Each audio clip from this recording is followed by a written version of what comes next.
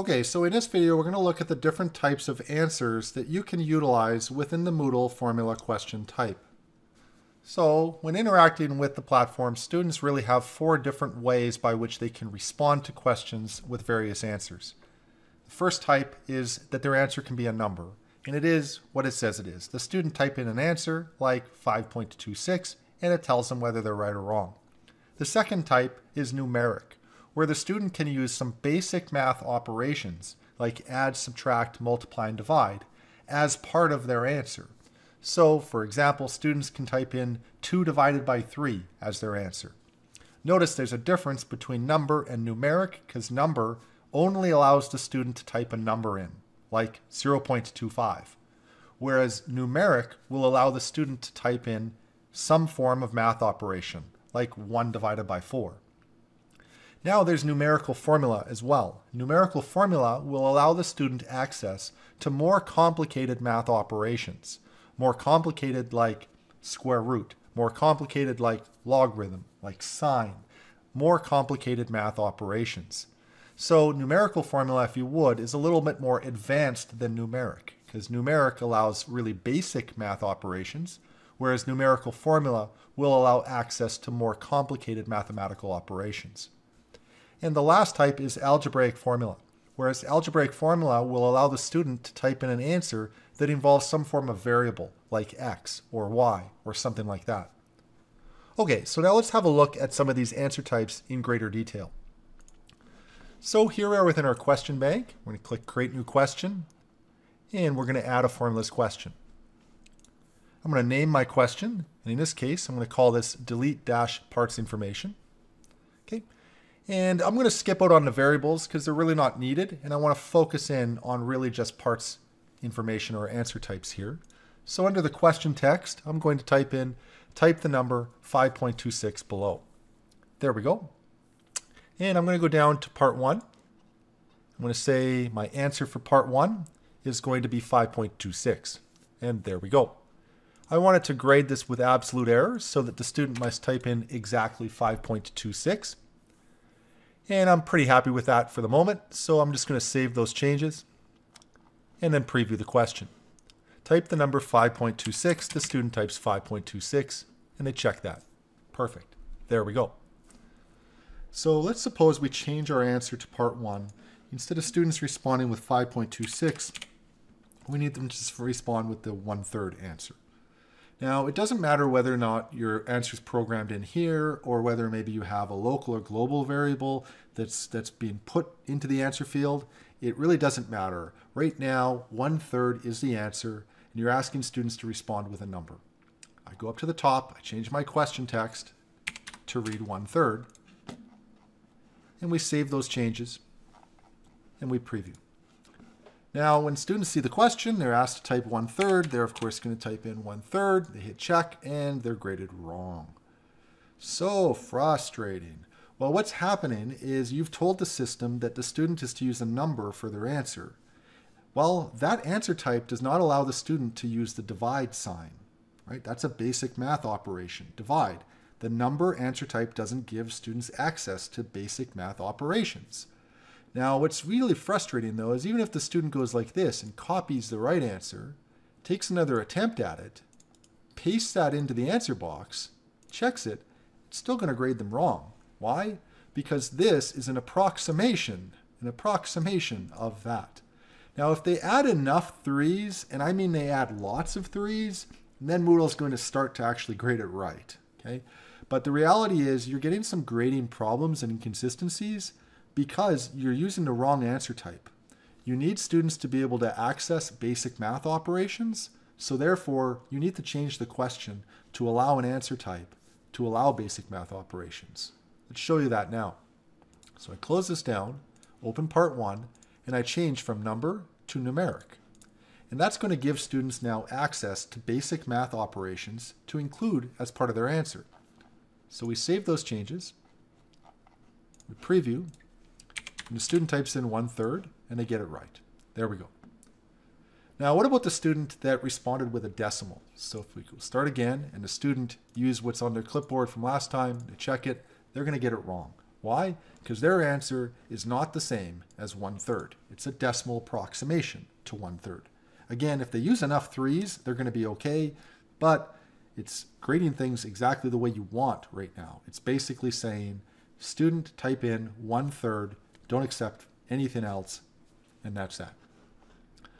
Now, what's also kind of nice about this numeric is it allows you access to other things, um, you know, operations, add, subtract, multiply, divide. The student, of course, could also try something like pi by 6. So the student could now type in pi by 6 as their answer. So what I'm going to do is go up to the top here, and instead of asking them to type in one third, we're going to ask students to type in pi by 6. Now, what I want you to take note of here is the way by which I'm typing pi. I have to type pi with pi and then a set of open and closed parentheses. Okay, that's how I have to type it in. If I go in, save this, and then preview it, you ask students to type in pi by 6. Notice the students type in pi by 6 like that, and they're graded correct. So the student has to type in pi different than the way the author types in pi. Okay. Now, if the student tries to type in pi the way the author types in pi, then they're actually going to be graded wrong. Okay? So that's an important thing to take note of with the formulas question type is the way that the author types in pi versus the way a student types in pi are slightly different. Okay, so now let's change from numeric to numerical formula. And what numerical formula is going to do is give you access to more complex math operations. Like students not only can add, subtract, multiply, and divide in answer boxes, but they'll be able to use, say, a square root or a logarithm or a sinusoidal function or something like that, or arcsine. They'll be able to access more complicated math functions as part of their answer. So for example, the student can type in sine of pi by 6. They can use the sine function now as part of their answer. I'm going to change the question text to match up with this. So I'm going to change this to type sine of pi by 6 below. There we go. So I'm going to save it. And I'm going to preview it. Ask the student to type in sine of pi by 6. So the student types in sine of pi by 6 and they're graded correct. Now, one thing that I really dislike about the Moodle formulas question type is really what I dislike about Moodle altogether, is that it's generally sometimes really, really, really terrible at mathematics. What do I mean? Well, it's asking students to type in sine of pi by 6, which is equal to 0.5, right? Mathematically, those are equal. Well, what if the student recognizes that? What if the student recognizes that the sine of pi by 6 is the same as 0.5? Mm, well, they're going to be graded wrong for knowing too much information. Okay? Eh, frustrating, right? Now, you might be thinking, oh, it's because they typed in a number. Well, no, even if they type in like 1 divided by 2, it's still going to grade them wrong, even though a half is the same as mm, a half. Um, even if they go like this and they go cosine of, say, pi by 3, which is the same as the sine of pi by 6, eh, it's still going to grade them wrong. Okay, so Moodle's not great at math, and it is something that you should be aware of as you're building and troubleshooting some of your questions. In this question, basically the thing to think about is you've told students they are to type in the answer of sine of pi by 6. That's what they're supposed to type in. That's what they type in, and they get it correct. Okay, so now let's move on to another answer type. So for this answer type, what we're going to do is switch from numerical formula to algebraic formula. Now with algebraic formula, what's the first and foremost really important thing to have happen is that your answer must be a string. So I'm going to open quotes, and for our string here, maybe we're going to say 2x squared plus 3. So the algebraic formula is answer type is going to allow students to use a variable as part of their answer.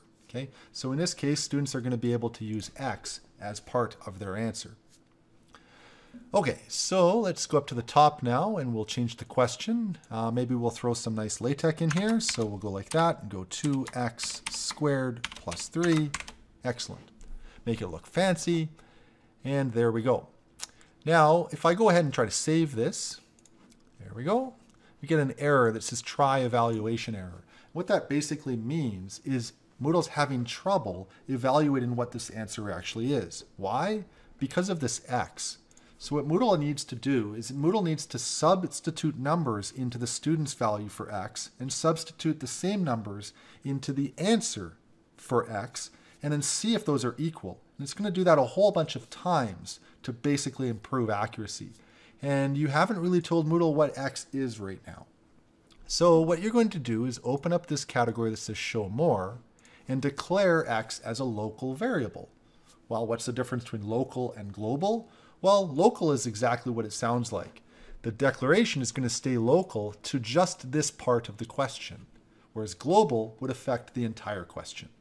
So for my local variable, I'm going to say x is given by the range of x's from maybe 2 to 2,000 in steps of 1.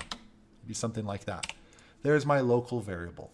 If you need more than one variable in your student's answer, well, you can add more in as necessary. Okay, so, oop, there's a syntax problem. There we go. And that's that. So let's check it. All looks good. Preview. Type 2x squared plus 3 below. So we'd have 2x squared plus 3. Notice the student does have to know how to use the hat symbol for an exponent. But when they go to get it graded, it's all good. It works really nicely. Okay, so one bit of troubleshooting that I want to point out here on the algebraic formula answer type is something again that I ran into that was a little bit frustrating. I want you to take note as to what it says the correct answer here is, particularly that x is in the correct answer as it should be. Okay. Now I'm going to make a small change to the question. Close this down, open up part one, I'm going to change the local variable definition to just one item. Okay. Right now, it's a range. It's from 2 to 2,000. So Moodle's going to analyze this across many, many, many different x values to see if the student's right. As a beginner, quite often what you might be tempted to do is say, let's let x be 5. Just this one thing. Okay. Let's see what that will do. If I go ahead and say, let's let x be 5, and then I go ahead and save this, and I preview. Students has to type in 2x squared plus 3. They're going to be graded correct, but notice what happened to the, the shown answer to the student. It gets pretty complicated for the student. The student thinks, wait a minute, did I have to put a 5 there? Or did I not have to put a 5 there? What exactly is going on, right? Well, that's what happens when you try to narrow the scope of your local variable too much. If you just have one thing in there, Moodle is only going to substitute one value in, and it's going to actually display that as the correct answer. So it's something to be aware of when you're building this, that your local variables should have many, many, many, many possible things in it. Okay, now let's also look at, say, another potential glitch in the system. And it's not really a glitch, it's just the way Moodle and programming works. So if I want students to, say, type in something like log x, a lot of people, including mathematicians, will see log as being log base 10, but computer programmers and computers see log as being the natural logarithm, or the log with base e. So log base 10s, I'm going to point out, are just messy. They're really quite nasty when working inside of Moodle. So I need the student to type in log base 10 of x below. I'll show you what happens here. So if I go into algebraic formula, if I want the student to type in log base 10 of x, the student's going to have to type in log 10 of x. That's how you would tell Moodle that it's a base 10 logarithm. If you leave it like that, that says to the computer the answer is the natural logarithm, or ln of x. So we have to include this 10 here, just like that. Okay. Now, when I go ahead and save this, save changes and continue editing, and we preview, it says to the student type in log of x. Now, when a student reads this, they're probably taking a math or a chemistry class and they're seeing that as a base 10 log because it doesn't say ln.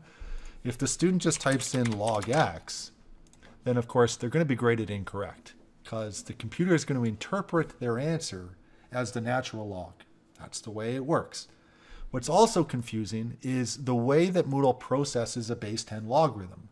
A Moodle is processing a base 10 logarithm, it's looking really strange here, isn't it? Very strange, right?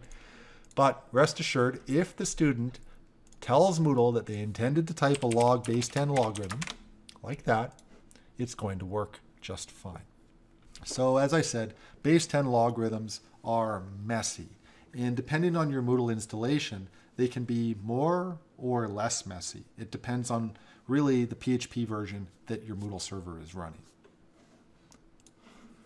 Okay, so that's that. Now, one thing that we talked about a little bit earlier with regards to how answers are getting displayed. Let's go back to this, where we asked students to type in the number one third below. When we had that set up as numeric, like this, we saved that and we previewed it. It was working really nicely. Except one thing that kind of annoys me is I want this to show one third because students that wrote all those threes are still getting it marked wrong because they are wrong. You ask them to type in the exact value of one third. I would like that to display here. So in order to do that, what you're going to want to do is actually change the answer type from this to this. And we'll save that and preview it.